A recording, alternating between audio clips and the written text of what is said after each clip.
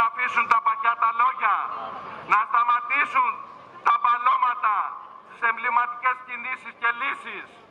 Βρισκόμαστε εδώ για να τους φωνάξουμε ότι πραγματικός σεβασμός απέναντι στους υγειονομικούς, απέναντι στους γιατρούς που καθημερινά έρχονται σε κίνδυνο, νοείται όταν ακούς τη φωνή τους και όταν εδώ και τώρα ακαριέα αυτά που προτείνουν τα κάνεις πράξη.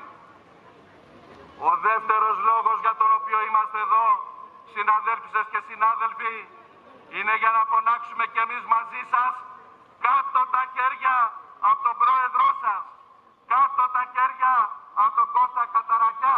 Αποφασίζει την απαγόρευση των συναθρήσεων και πότε ετοιμάζει σχέδια νόμου για την απαγόρευση στην ουσία της δυνατότητας λήψης απόφασης για απεργία αφού θα δίνει τη δυνατότητα στα ίδια τα αφεντικά να αποφασίζουν για το αν θα απεργήσουν οι εργαζόμενοι ή όχι. Στέλνουμε λοιπόν το παρακάτω μήνυμα στον κύριο Μητσοτάκη. Κύριε Πρωθυπουργέ, ό,τι και να κάνετε, το δόγμα που επιχειρείτε να περάσετε από την πρώτη στιγμή που αναλάβατε την κυβέρνηση, νόμος, τρόμος και τάξη θα μείνει στα χαρτιά. Καταλάβετε το, οι εργαζόμενοι δεν τρομοκρατούμαστε.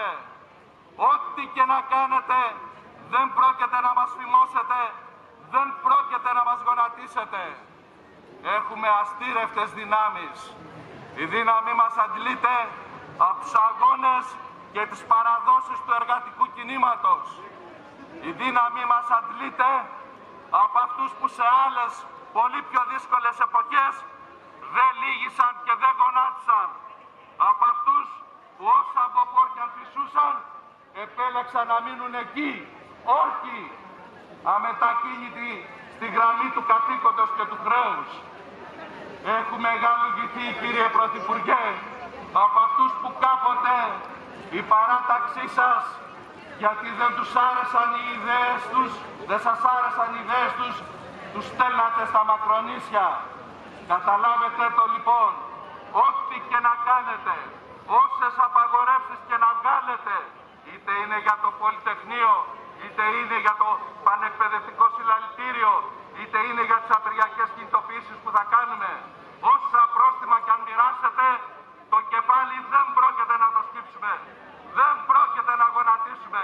Θα μείνουμε κι εμείς, ναι, πιστοί στη γραμμή του καθήκοντος και του χρέους. Καλό αγώνα συναδέλφισες και συνάδελφοι. Κώστα Καταρακιά, δεν είσαι μόνος σου. Θα είμαστε δίπλα σου ως το τέλος. Η υπόθεση του Κώστα Καταρακιά αφορά τον καθένα μας. Έχει να κάνει με ζητήματα δημοκρατίας και ειδικά σε αυτά δεν υπάρχει περίπτωση να υποχωρήσουμε ούτε χιλιοστό.